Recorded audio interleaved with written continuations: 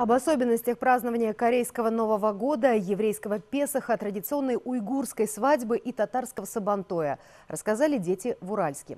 Здесь в рамках республиканского слета туристских экспедиционных отрядов Менен Отаном Казахстан организовали фестиваль дружбы. Участвовали около 100 ребят из 13 регионов страны. Школьники демонстрировали национальную одежду и блюда, рассказывали о традициях и обрядах представителей национальностей, проживающих в Казахстане.